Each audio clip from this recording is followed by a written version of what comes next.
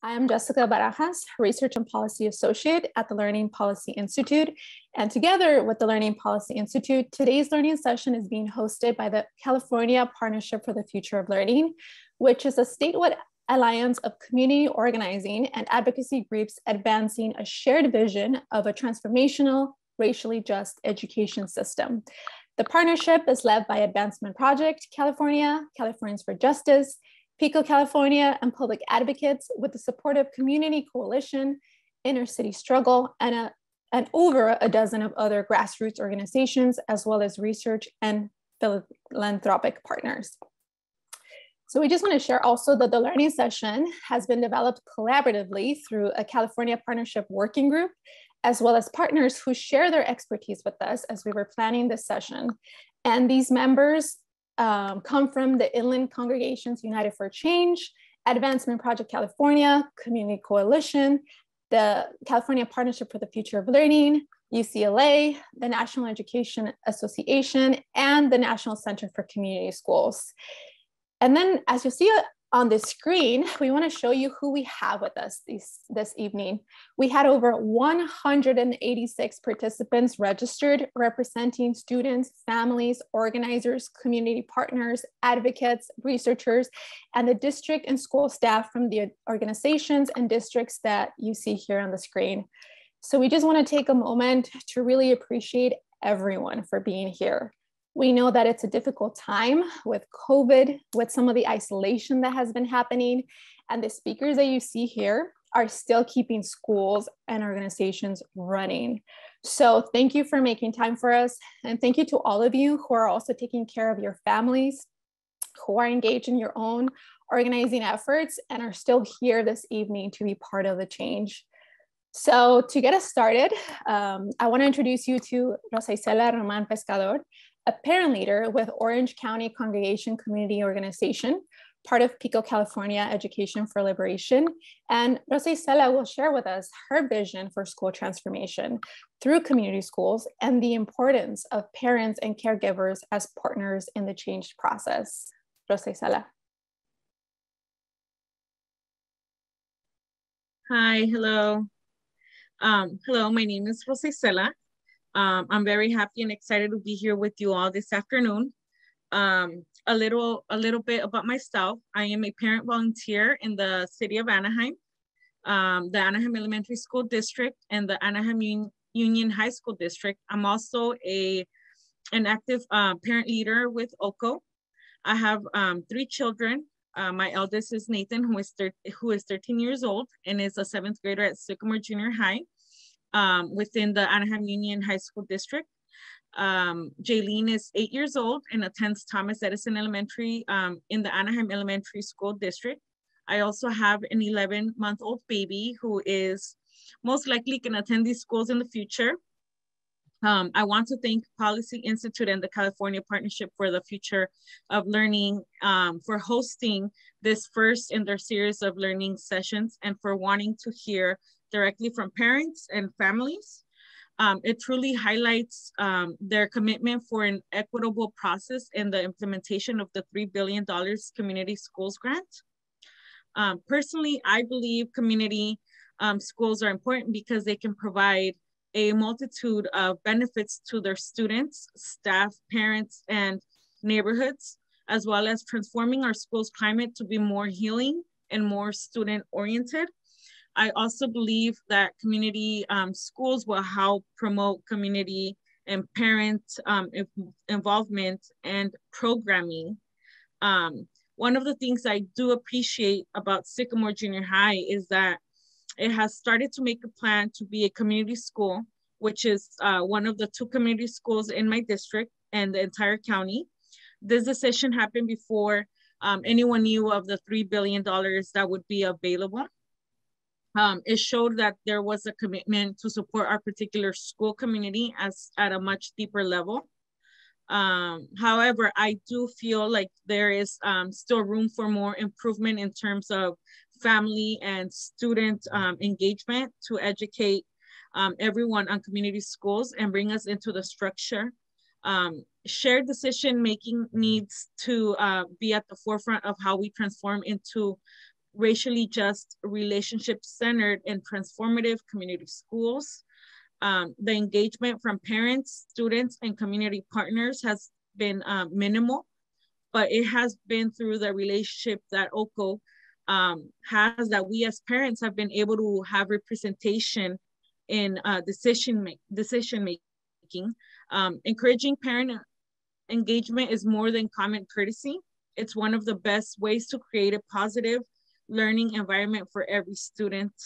Um, it is also very important for parents to be involved in their children's education, both at um, individual level and at the school system level through um, shared ownership and leadership.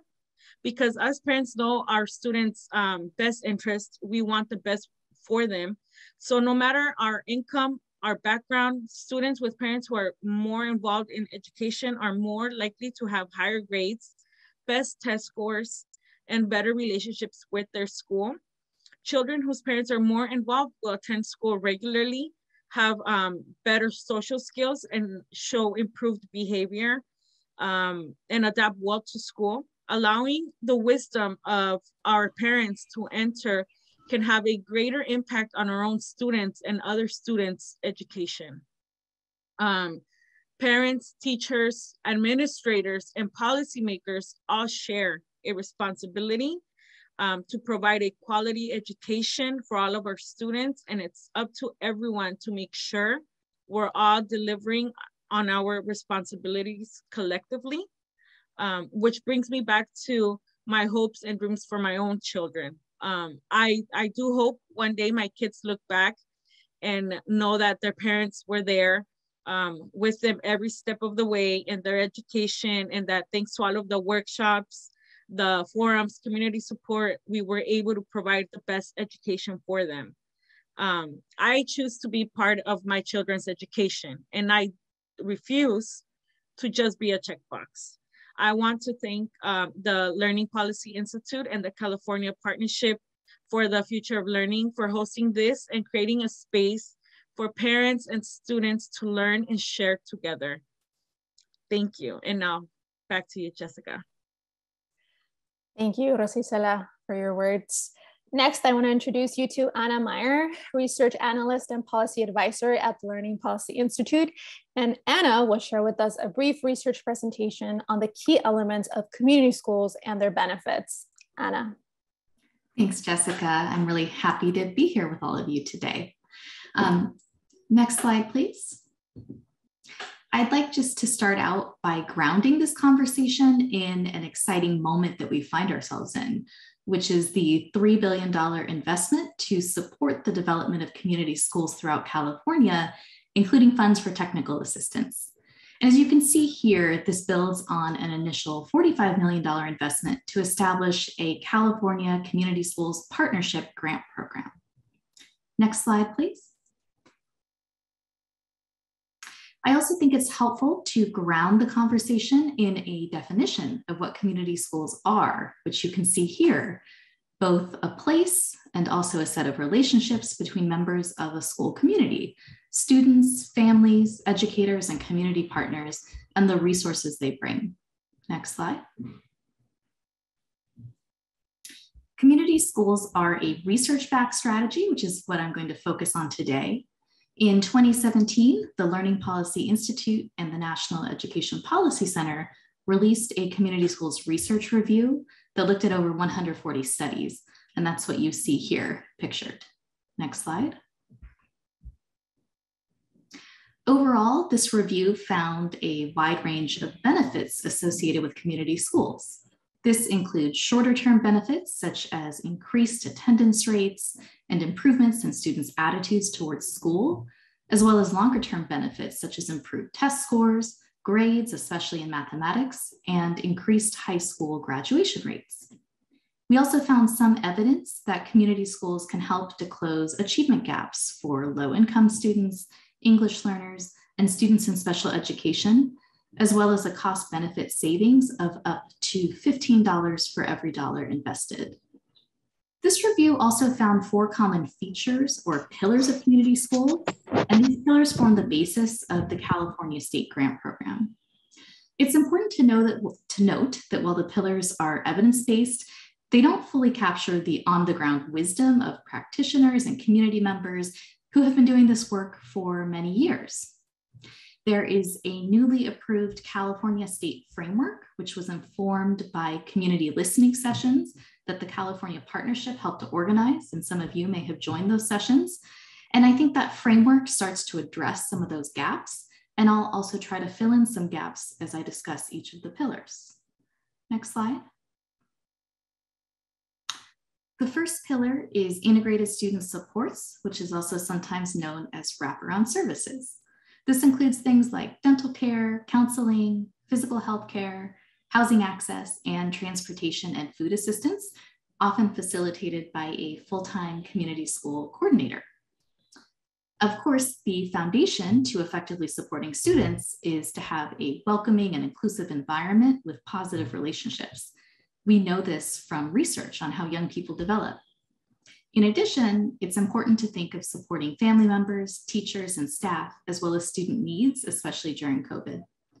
And finally, mapping assets and needs with a lot of input from students, families, and community members is really important for planning and implementing integrated student supports.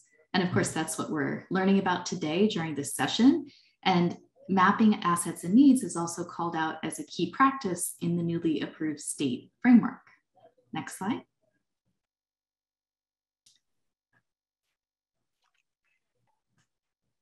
The second pillar is expanded and enriched learning time and opportunities. This includes academic support, enrichment, and real world learning, things like work-based learning, internships, and project-based learning that take place during the school day, after school, over the weekend, and during the summer. Rich and engaging learning experiences are hands-on, they're culturally sustaining, and they connect to students' interests and lived experiences community partners can play an important role by offering after school programming, teaching extracurricular courses, providing push and support in classrooms, and serving as partners for hands-on projects. And I know that the educators we're going to hear from today can share really compelling examples of what these learning experiences look like in their community schools. Next slide. The third pillar is active family and community engagement. This means inviting parents, caregivers, and other family members to the school, not just to volunteer or partake in services, but also to serve as true partners in supporting and educating students. And we heard Rosa Isela speak to this just a moment ago. This is so important and there's a lot of room for growth uh, when it comes to this. A dual capacity building approach is here, supporting both educators and families to engage with each other, for example, through home visits, it's also important to think about student voice as well, for example, through student-led conferences, just examples. There's other way, ways to think about these as well. And something I've really learned from the California Partnership is the importance of providing opportunities for engagement in languages spoken at home, like we're doing here today. Next slide. The last and arguably most transformational pillar is collaborative leadership and practices. This means establishing a culture of professional learning, collective trust, and shared responsibility for outcomes through strategies, such as having a site-based leadership team, employing a community school coordinator or manager or director, they're sometimes called, and supporting teacher learning communities.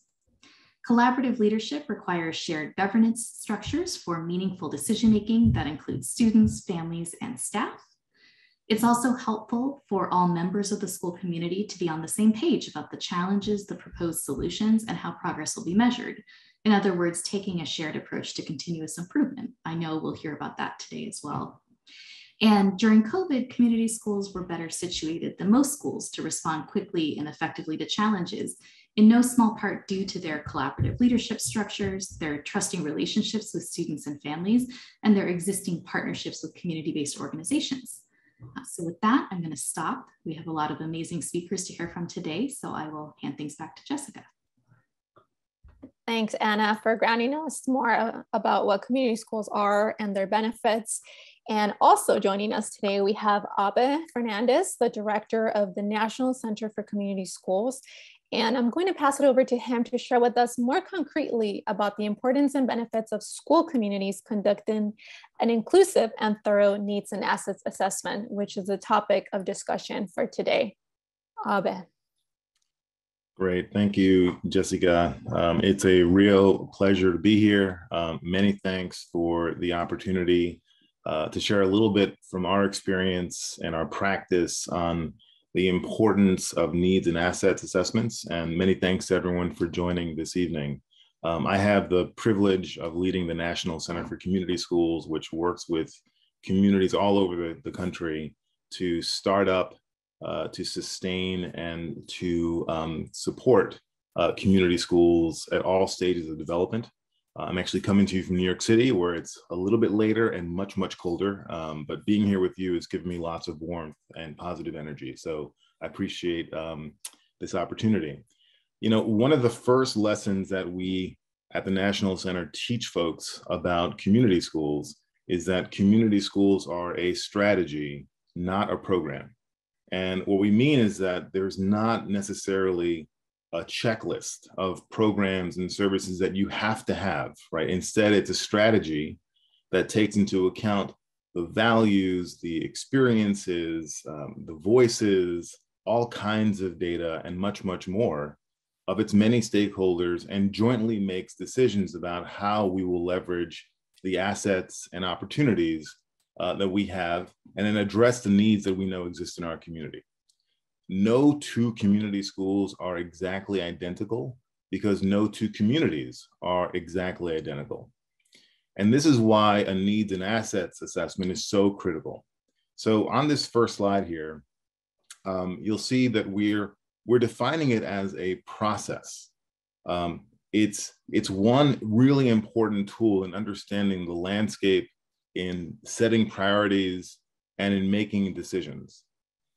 And the truth is that sometimes we need a more comprehensive and inclusive approach to making really good decisions. And I'll share an example on this next slide. So here is what you might consider to be a typical meeting of a school leadership team. And here they are, they're meeting as they often do, and they're trying to decide what to work on um, as a school community. And so now let's listen into their conversation. If we go to the person on the left here, you'll see that this person is worried about the sugary drinks in the cafeteria, which, you know what, that makes a lot of sense. That's a real concern. We should talk about that. Um, and that character education, the next person here is saying that character education must be added to the curriculum. Hard to argue with that. Really, really good point. Um, the next person is talking about standards based testing being better than normed reference testing. I'm not even sure exactly what that means. I'm sure Anna knows what that means. I'm, I'm not really sure, but it sounds pretty important and maybe we should listen to that person. Um, we have someone else here who's concerned that parents aren't adequately involved. And I think every school I've worked with is always trying to work on engaging and involving more parents. So really good point. And the last person here is saying that, well, by law, all children must be above average which as a former math teacher, that's mathematically impossible. But you know what? Let's talk about it. Let's really sort of figure out what's going on here.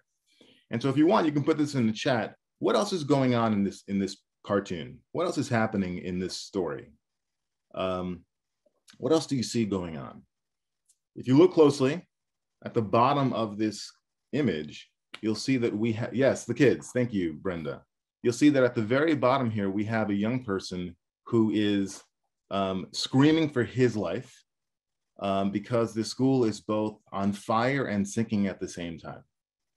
Um, now, it's a cartoon, it's kind of funny, right? And then it's not. And then it's not funny. Um, because the fact is that we have many schools, there are many, many schools that have these kinds of burning, sinking issues that are being ignored. And they've been ignored for a very long time right? Too often we're not doing a good enough job creating the space to really understand what's going on, to invite additional voices into the process, to look at a, a wide set of qualitative and quantitative data to inform how we will move forward as a school community. Um, and so in absence of that, without having that young person's voice heard, without having other people who know what's happening in our school community be a part of this process, what we end up working on are the personal agendas of those who already have a seat at the table. Now, it may be, it may be that we really do need to work on sugary drinks, right? Um, or parent involvement.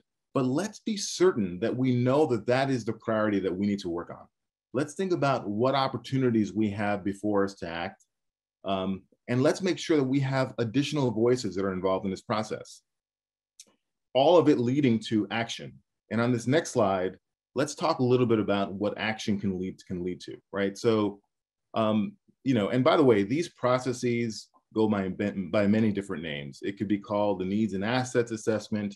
It could be a needs and opportunities assessment, a needs assessment and resource inventory. We don't care what you call it. We just think everyone needs to do this. Um, and so if this, this, this chart, I think, is also trying to describe that there is really action involved in this work. We're not just doing this so we can write a report. Um, this should lead to action. And if you look at this chart here, at the end of a process, you're going to learn a couple things. You're going to learn exactly what all the current needs are in your community. And you're also going to have a sense of what all the opportunities are, the things that you're currently doing, the things that you have accessible to you, available to you. Um, and so the real goal here is to if you look in the middle of this slide, is you want to see this sweet spot. So if you can advance the animation here, there's a sweet spot that's really, really good news, right? What's happening in the sweet spot in the middle is that there are a number of needs that you have identified that you are currently meeting. That's awesome. High fives all around. This is really good news. You figured out that there are some things that you have going on that are actually of service and really helping people. That's fantastic. Now, if we look at the left side of this chart, you also will notice that there are a bunch of needs you have that are unmet. And that may feel like it's a little bit upsetting, but it's actually kind of exciting because now you have a really good sense. You've done a, if you've done a good job in the process, you now know exactly what you need to work on, which partners you need to engage, which funding you need to go after. It really helps you to prioritize what action is going to look like. So it really gives you kind of a, it charges the school uh, to, to, to move forward.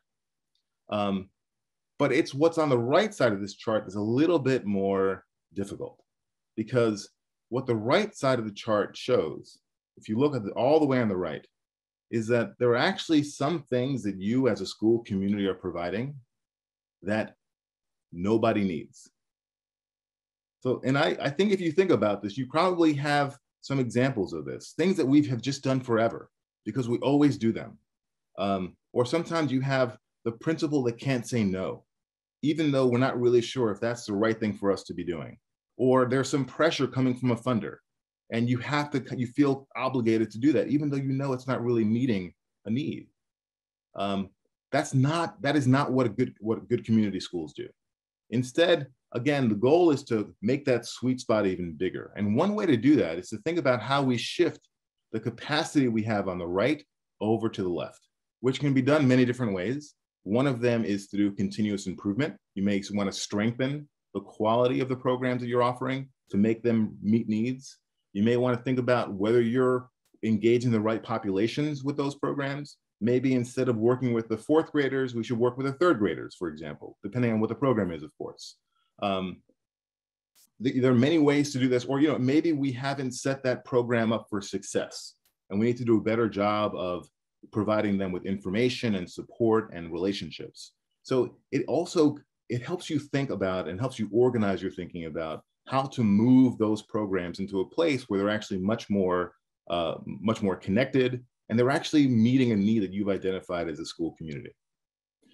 So in the interest of time, and we have a lot to get through today, uh, I guess I'll share just one more slide here, which is a way just to try to capture the lessons that we have learned from doing this work now for decades.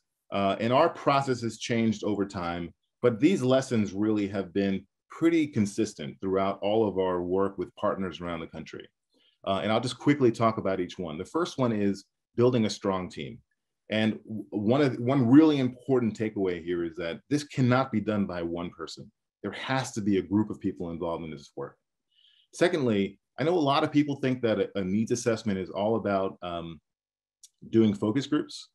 Um, and that's all they sort of focus on. And, and yes, that's important, but we think that you actually need to have some focus first. Um, it's not a good starting point. We think first you want to do a little bit of learning about what's going on and then get to focus groups. And I can talk more about that later. Um, we want to ask folks to avoid analysis paralysis. Sometimes we hear about these processes that go on for weeks and months and months and nothing really happens. That's not helpful. We want to get to action as quickly as we can.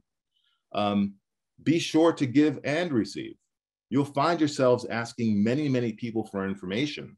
And a huge mistake that we see people do sometimes is that they ask tons of folks for information to inform their needs assessment, but they never go back and tell those people what we learned and engage those folks in what comes next. So both give and receive.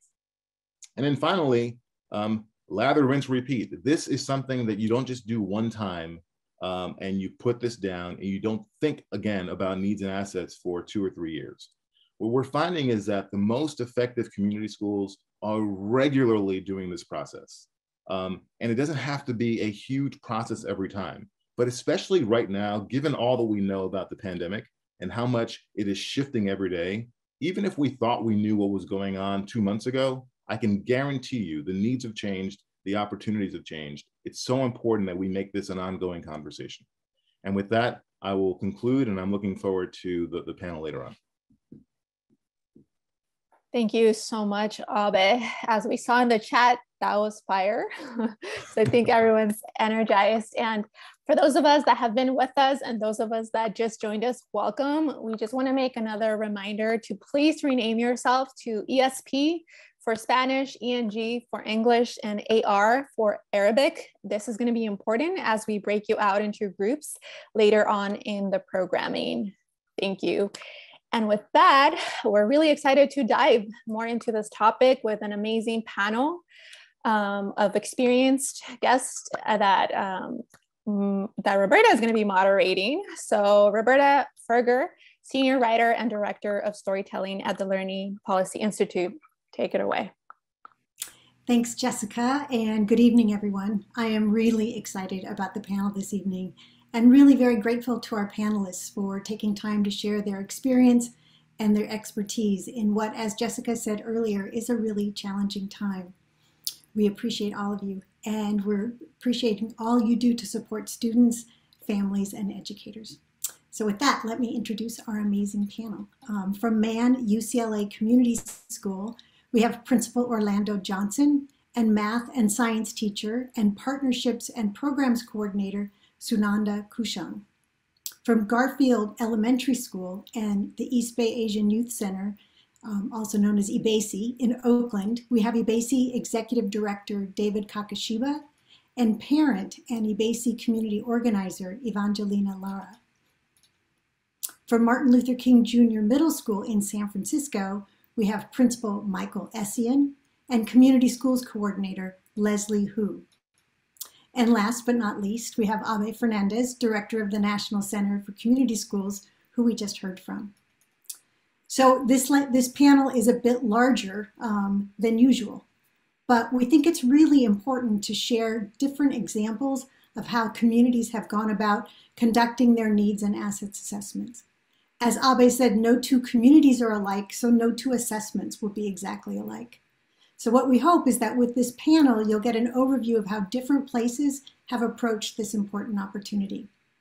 The format we'll follow is that I'll ask each of the panelists or the, the community, school communities uh, questions as well as Abe a couple questions, and then we're gonna open it up to the audience. So make sure to drop your questions in the panel. Um, and just a reminder to panelists, you have three minutes to answer each question. Okay, so with that, we're going to go ahead and get started. And we'll start with um, our guests from Mann UCLA Community School. So welcome again, Orlando and Sunanda. Thank you for joining us on the first week back after winter break. I'm sure it's insane for you all. So perfect time. so you began the process of transitioning to a community school in 2015. Can you share for us what the factors were that prompted the decision to make that transition and what your earliest first steps were? And if you could include whether and how students and families and educators were involved in that process. Um, I guess I'll start, Ms. Kushan. Um, So the first thing um, you have to pay attention to the signs. You know, when I first became the principal here, um, enrollment was uh, took a, a, huge dip. Um, we uh, at the height of our middle school here is a historic middle school, almost 100 years old. Um, we had about 2,000 students. When I became the principal, we had about 160 students. So we were in danger of being closed. Um, test scores had been uh, consistently low for the last, I would say, uh, five or seven years prior to me becoming the principal.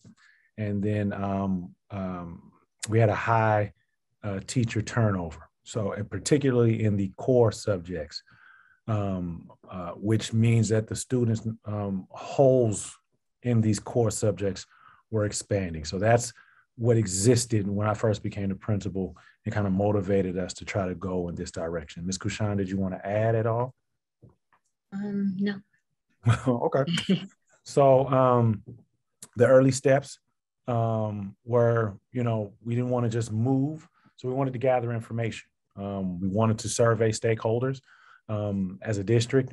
You know, Los Angeles Unified School District, we already do a, a yearly a school experience survey. In addition to that, we did an original survey of our parents, of our families, of the teachers, of the students, of, of what they would want in their school. Because we looked at the fact that I think the culture today is that um, parents have more choice and they were choosing other options. And so, what did they want in their school? Um, and once we gathered that information, we started to build, we started to plan. You know, we had to build confidence in the teachers that this wasn't just another turnaround or another takeover or something like that, that this was really truly going to be a collaboration. And we just started to build. Um, we used that data to again, again to build a plan. Um, and then we also did request some autonomies from the UTLA contract so that we can do certain things, particularly for that teacher turnover. You know, a lot of times we'd have some vacancies, the district would just kind of place somebody there. And we wanted to have people at our school that believed in the vision. So getting those autonomies was really huge. And then um, solidifying an MOU with UCLA um, and LAUSD meant that LAUSD is committed and UCLA is committed. And that I think gave us credibility. So I think that was the beginning of, of the rationale behind it and what we did in the beginning to try to start this journey.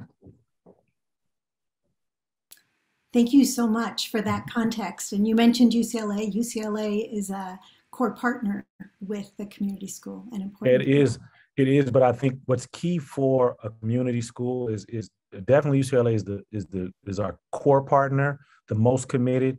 But it's not the only partnership that we have. Again, it's a community school, so you work with different organizations, different community organizations. What I will say is UCLA helps because one, we want our kids to go to college, so why not partner with one of the best colleges in the country. But two, it gives us more draw for those other organizations to partner with UCLA, I mean, to partner with us.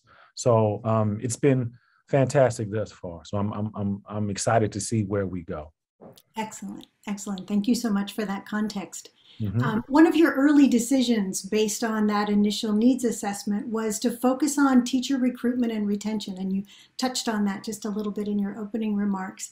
Can you, excuse me, can you share more um, with us why you identified this as your first priority, um, and then the steps you took to begin to address the issue, including who was involved and how? And then lastly, um, share a little bit about the impact of that work, the work you did to focus on teacher recruitment and retention. So, um, regardless of how amazing a principal is, um, I believe that the the number one thing that you can have to have an amazing school is amazing teachers. And the state of having high turnover, the state of having long term subs and day to day subs in key subjects meant that no matter how how good our plan is, it's not going to be successful. So that was the first thing that we had to attack. So what we did was one, we got an, autonomy from the UTLA contractor where we we blocked the must place instructors, and UCLA helped us to have the first access to uh, their student teachers that were completing in their teacher education program. So a lot of times we would get access to the leftover teachers. Now we were first in line. Now we can pitch our vision and get the the the the innovative teachers that really believe that they can change the world, and that's who you want that are willing to buy into your vision. So that that has been a huge help in terms of changing the culture. It also sends a message to your kids that they matter, you know, and that they're going to see that same teacher every single day. So that was huge. Um, did you want to add anything, uh, Ms. Kushan? I'm um, sure. So our leadership team really focused on teacher support. So we built a program around supporting new teachers so that teachers would be would have the same vision and would be committed to stay here. So we know teacher turnover is a huge issue, um, especially in high need schools. Teachers say for one or two years, we didn't want that at Mann. So some of the impact, okay, of course, um, I would say uh, uh, every year since we've started this plan, we've started with a full teaching uh, uh, uh, uh, stable of teachers. We didn't have any vacancies, and that hadn't happened until this partnership. Um, so it's more stability. A student's more connected to the school, more connected to their teachers, more bought in. Um, our referral rate went down. Our suspensions went down. Um, our test scores prior to when we started the pandemic started to go up. We hadn't gone up in math in about six years uh, until uh, we had the partnership, until the kids were getting consistent instruction. We built a plan which focused on certain pedagogical strategies, but I think that in addition to that, because that was at the beginning stage, just having the consistent quality teacher help the students initially. So, and it also helped us to build as we are, you know, trying to become masters at the pedagogical strategies that we were choosing to improve the school. And then we also had, uh, we expanded the school. So we were just a middle school, but we went six through 12. And just recently, last year, we had a 100% graduation rate. And I think that's a testament to um, the amazing teachers. You know, I mean, like I said, I think that the teachers did an amazing job and they bought in. And because we had a small connected school, every child was special, not just the magnet kids, not just the gate kids, not the kids on this track or the kids, these special kids. Every single kid was seen as that. And that's the only way we can have those types of numbers, just in the beginning or thus far. Thank you both so much. Uh, so inspiring and also um, beautiful, really, right? Of what's possible when you mm-hmm. invest in staff, you invest in students. Thank you so much. Um, we're going to now turn to our guests from EBAYC, who are part of the Garfield Elementary School community in Oakland. David and Evangelina, thank you for joining us. Um, during the 13 years that EBAYC has partnered with Garfield Elementary, you've engaged in two formal needs assessments. Most recently, in 2012, you hired a community organizer to lead a structured listening campaign or a cycle of inquiry um, to understand the key concerns of students, families, and staff. I'd like for you to tell us a bit about the process and its impact on school culture and practices at Garfield. And if you could, please include some detail about what prompted this effort, why you took this particular approach, who was involved, and the key elements of the listening campaign. And you have three minutes for all of that. thank you. Uh, thank you very much. Um, so, uh, we uh, at that time uh, we uh, Garfield had gone through a number of principals, um, and that uh, it's um, it's a school that that did not have uh, a strong sense of cohesion uh, and a kind of strong social capital. this is both among the professionals in the building, uh, but also between the professionals and the parents and the families. Uh, and we got a new principal, uh, first time principal, and actually he was sort he was, he was a 20 something. Uh, and so even his experience as a teacher, uh, while good, but was not very long. Um, and I think he quickly encountered a lot of uh, resistance to positive change uh, among his, uh, his staff. Uh, and meanwhile, we had been talking to him, and it's probably about a more than a year long process of discussing and debating about, um, uh, about the need to uh, organize a base of leaders uh, among parents uh, to uh, uh, put a greater parent voice and greater parent opinion about how to improve the school. and so we got a, a, a, very seasoned organizer who had long worked in the schools, particularly around the small schools movement in Oakland Unified. Uh, and uh, we uh, had them uh, meet each other and uh, see, discussed a lot about her experience around organizing parents and organizing teachers. Uh, he was somewhat familiar with the small schools movement. And over a period of, of a couple of months, he agreed to engage and be uh, a sponsor of a parent-led uh, listening campaign. Uh, and so we started out with uh, basically just doing one-to-one conversations uh, with uh, lots of parents.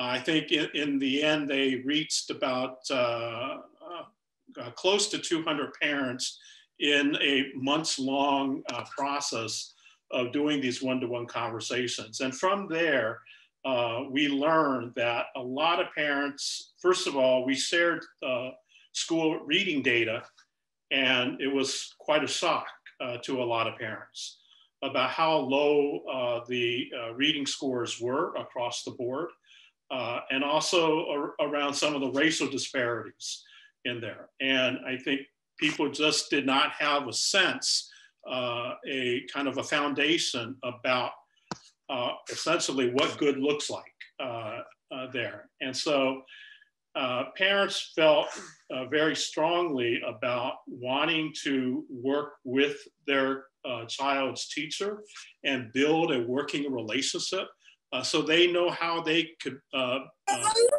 best help their child in the school and vice versa.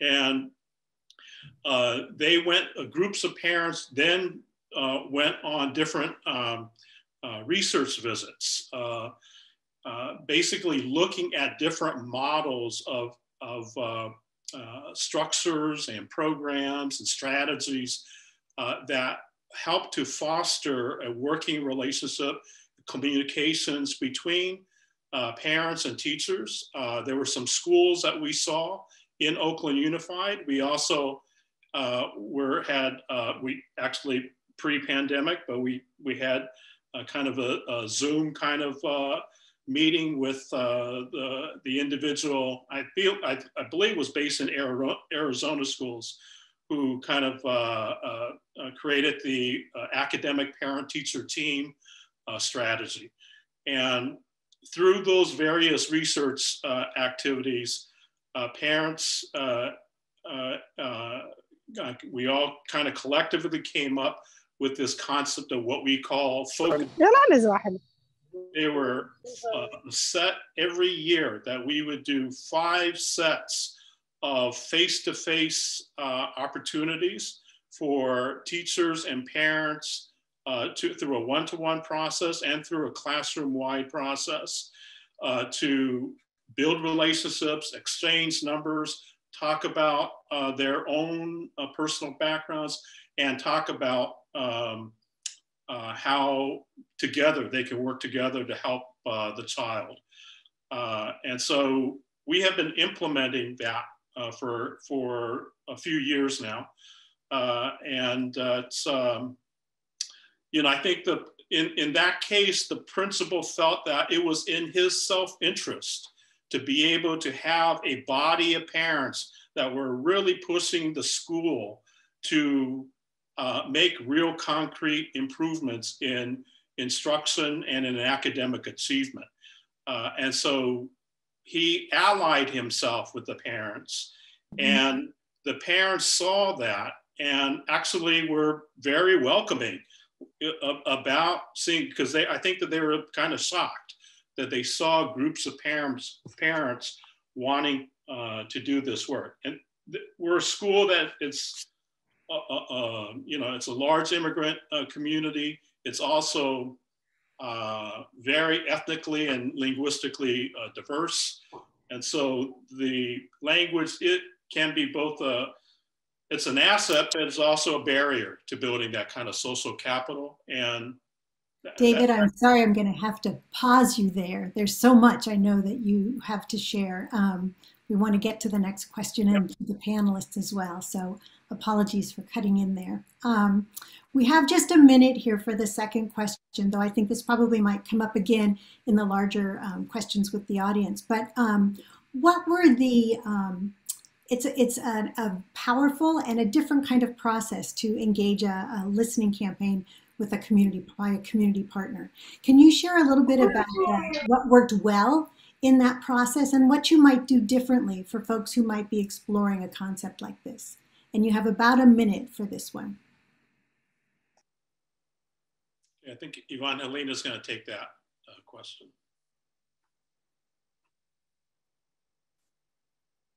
Sí, uh, pues lo que haríamos, lo que se seguiría haciendo, lo que se trabajó bien es involucrar las partes, uh, como ya lo mencionó el señor David, a los padres. Se formaron tres, tres comités, uno de, de, a los aprendices de inglés como segundo idioma, otro de los uh, padres con niños con eh, necesidades especiales y el otro eh, fue el core team. Entonces, el, involucrar a las personas eh, este, que tenían injerencia o esa responsabilidad, en este caso los padres que trabajaban conjuntamente con los maestros, fue algo muy exitoso, porque tuvieron ese sentido de pertenencia, de trabajar eh, para el bien común, en este caso los niños, ¿verdad? que los niños tuvieran éxito en la lectura que ya mencionó el señor David y en la cultura latina era que los niños fueran reclasificados antes de dejar la escuela elemental. Eh, la cosa que no trabajó, que haríamos diferente, es, yo ah, desde mi punto de vista, es que los nuevos maestros que se incorporan año con año a una escuela como Garfield tuvieran esa ah, anualmente un liderazgo, porque esos eh, maestros llegan nuevos y aceptan los focus five, o sea, las cinco reuniones cara a cara, eh, tres eh, al año, ah, al principio, mediano y final de año, cara a cara con el maestro, y dos en manera grupal. Lo que yo haría diferente es que esos maestros nuevos uh, tuvieran esa capacitación para que le siguieran haciendo la labor más efectivamente.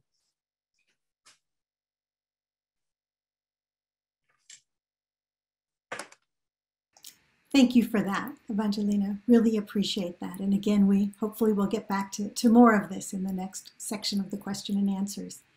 Um, we're going to now turn to um, Martin Luther King Jr. Middle School. So welcome again, Michael and Leslie. Uh, since becoming a community school, MLK has really embraced this concept of continuous improvement, something Abe shared with us as being so important. Can you share some examples of the types of assessments you've conducted and how you've brought all the stakeholders into that process? Um, and really talk to us a little bit about how continuous improvement is really integral to supporting and engaging students and families and educators. Okay, and let me give a little um, backdrop um, before I turn Leslie loose. Um, first of all, MLK uh, is situated in the most expensive city in the world, but where we're located, we do not fit that demographic. Um, we have high poverty, high crime. We are located in a, in, a, in this part of the city where the military base used to be, and the soil is contaminated, so the community is exposed to a variety of things. We are a school site that has approximately 500 students. One fourth of those students are English language learners. Our SBAC scores are consistently lower than uh, most middle schools in the entire school district. We also share, uh, we write the most referrals. Uh, we prior to becoming a community school, we wrote, the, we wrote the most referrals in the entire school district, and we had the highest rate of suspension. With that, if you can figure Leslie becoming the community school coordinator, uh, she had come in and we transformed the school into being a community school. Leslie, what do we do? Hi, everybody. My name is Leslie. Um, so we did a couple of different things. I want to be super succinct about the concrete things that we did. I also want to re be really clear about when we talk about assessments, I, I really liked what, you know, Abe was talking about. It's really an a, a systematic way to listen Well, all we're doing is listening to our young people, listening to our families, and listening to our educators. It's just fancy jargon for that, right? Um, and so that for me makes it really easy for me to understand what we're actually trying to do, right? And so we did two assessments that I actually want to highlight that feel really important. One of which is a math assessment. People are very confused when I talk about math and academics because we're still working off this former narrative of what community schools used to be, which is wraparound service, right? For me, that's never been my focus. I'm a school social worker. That was my my my previous life. And so you would think, oh, I came in and my first priority was mental health.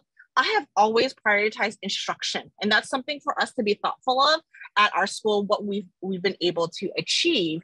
Um, we've been able to achieve leaps and bounds 90% reduction in suspensions, 90% reduction in office disciplinary referrals.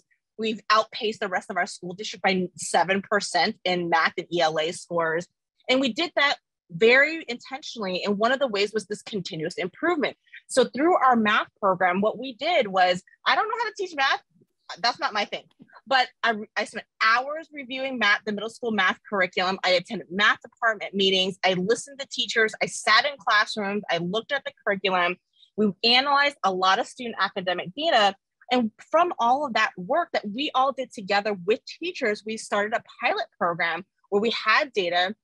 We had acceleration classes where our math teachers did um, it's basically an intervention class for for kids we assess where what their where the, their skills were at.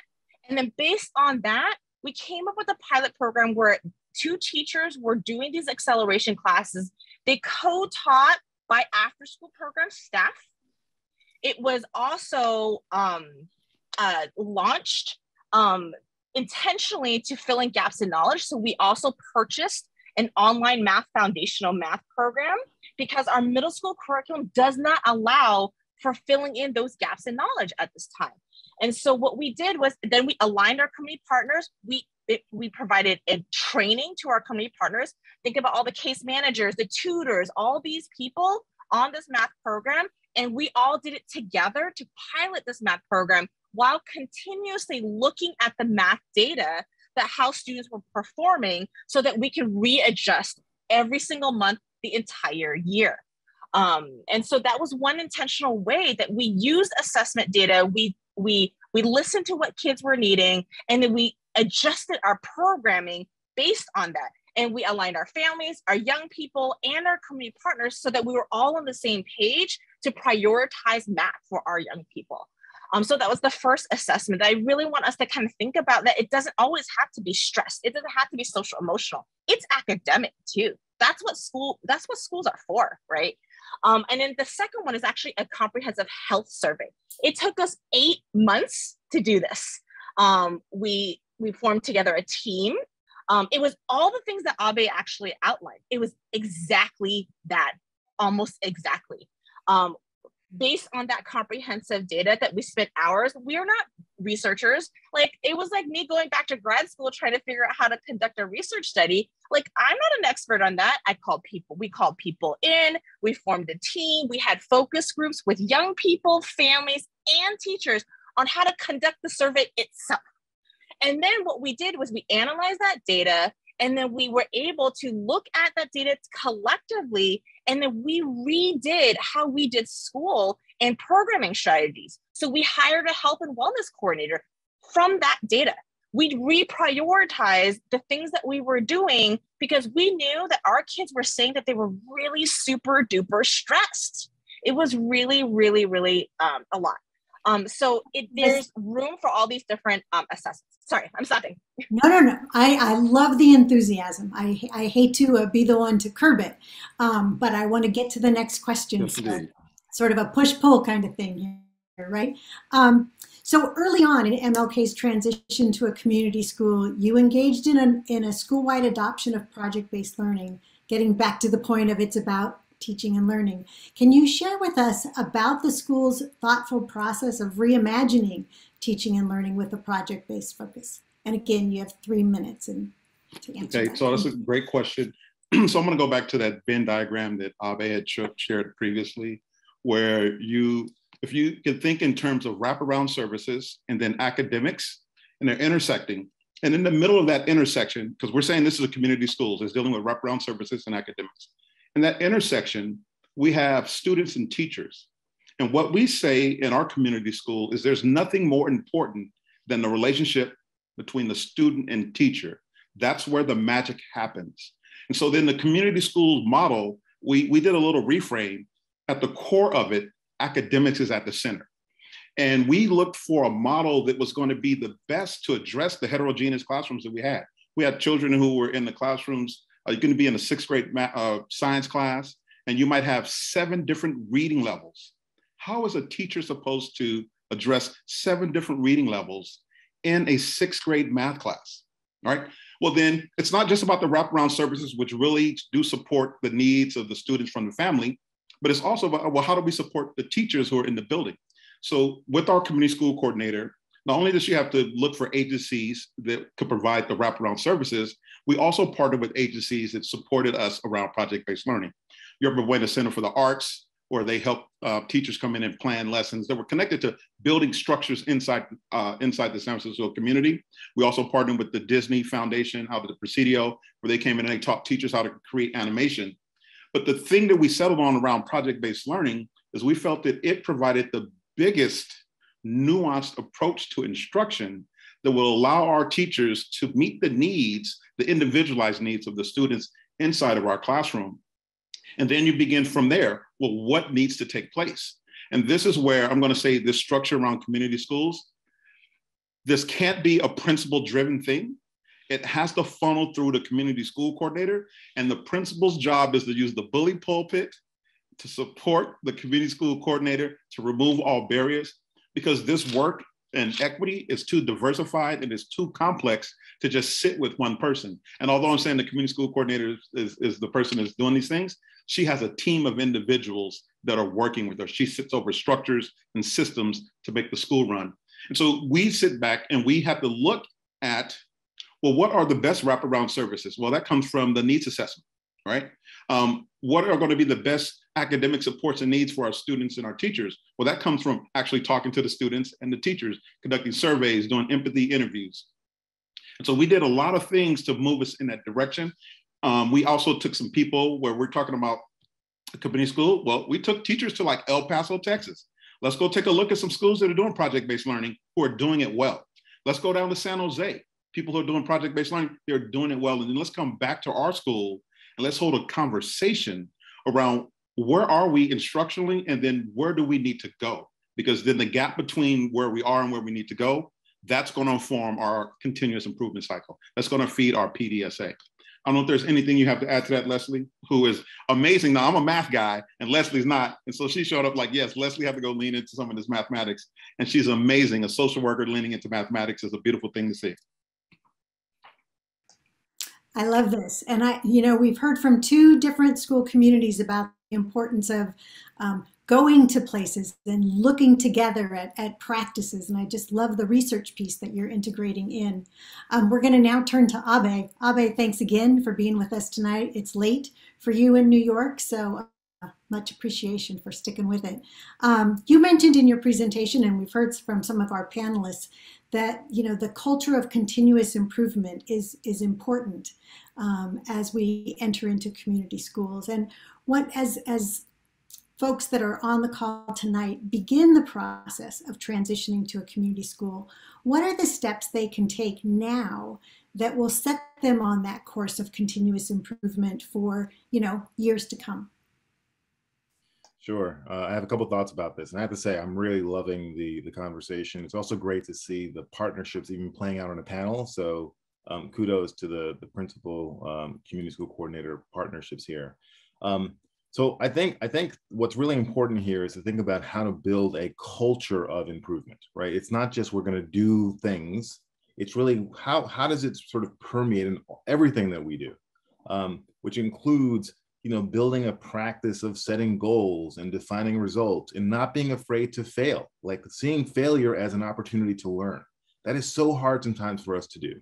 Um, and so I think one maybe concrete thing to think about is um, is the way in which our relationship to data needs to maybe look a little bit different. Um, I think that we have been conditioned for so many reasons to think about data like it's a hammer, right? It sort of comes down on us. And data has been used to pick winners and losers, right? You either pass or you fail the class. You either meet the milestone or you don't. Um, you get the grant or you don't. And I think it's sort of easy to understand why people are sometimes afraid to look at information, to look at data, because it always sort of comes with it these high stakes sort of um, conclusions about whether or not you're going to, you know, pass or fail. And so we, what we often talk about is let's not look at data as a hammer. Let's look at it as a flashlight, right? What, what, how might the data sort of illuminate some things for us? Um, how might it inform what the needs are in our community? where the opportunities are, how we can plan differently. Um, and so, you know, and of course, as you heard some really good examples, how we can sort of measure improvement along the way. So it just sort of, it's a different way of thinking about how data becomes sort of an everyday occurrence and not just this thing we do at the end of something and we all sort of worry if we did it or not. So I think that's sort of one thing to really um, to think about, you know, and, and, and there may be things you're doing right now that are aligned with that and some things that are more like hammers so we often tell people, look at all the data you're collecting. In which in which cases are they being sort of used as a hammer? Is there a way to use them more as a flashlight? Um, the second thing, quickly, I'll just say is that it, getting more and more people involved in this work, I think, ends up being a really good preparation for what's coming. Um, and and that means that a lot of times we we assume like we're engaging people in this work, but I'm engagement means engagement, like at every step in the process, including analyzing what the data are telling us. Who, who, decides the interpretation of the data? Um, sometimes we bring people in way too late in the process. And so I would encourage folks to bring as many stakeholders as early as possible. Um, you, you're going to get much, much better results. Thank you so much for that. Data as a flashlight, not a hammer. I think we should all remember that point, as, among others.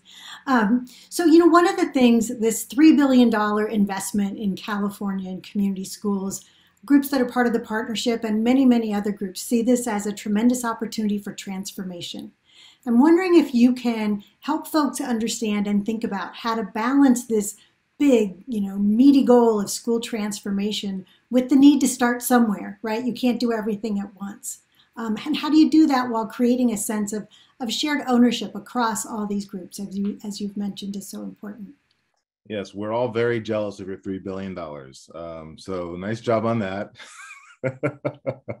Go California. Um, no, it's super exciting. And I also know, I'm sure it's very daunting to think about like, hey, what are we going to do here, right? There's you know one of the one what happens oftentimes when you do these processes is that you realize we can do a lot of things right so how are we going to know you know which one of these million things to do and so you know i i don't want to minimize i don't want to trivialize this too much but trust the process is sort of what we've learned trust the process right we have actually we've developed an eight step process around needs assessment which if folks are interested we're happy to share that with them. Um, and and it includes things like in guidance on how to build a team about looking ex at existing data that you have you know at looking at there's a step around there around surveys and focus groups and individual interviews and actually writing up a report that doesn't take forever that gets to like what did you learn? What did you do? What did you learn? What's next and you'll find that during each each of those steps of the process in the beginning it feels completely we're never going to finish this thing it's so daunting but by the time you get to the third or fourth step, it's starting to come together for you. And so it's, I think you'll find that through, if you stick to the process, if you engage lots of different folks in this, I promise you it's going to become much clearer. Um, you know, the other thing that I would just recommend here is to think about two, two buckets of action that you want to sort of end your process with. There's one bucket that I would call is your core strategy, right? And so these are things that are really challenging long-term projects that are real priorities, things like figuring out, you know, how to increase the kindergarten readiness of your incoming students. That's a big, big job, long-term. We heard Leslie talk about the work around math, right? That is long-term work, core strategy. Um, maybe it's it's developing a sustainability plan to make sure that your investment goes on for even longer, right? So that's really hardcore work. That's your core strategy. The other and, again, these are things that are informed by your needs assessment um, and will take considerable time and effort. The other bucket, though, are what I would call a quick win or quick wins, right? And these are things that require less time, um, less effort, maybe less or no money, um, but are meaningful and are aligned with your priorities that are still kind of aligned with what you learned that people really need that you are that you've decided are really important to do. And this could be like ensuring for example that there is interpretation at your meetings to get more folks engaged.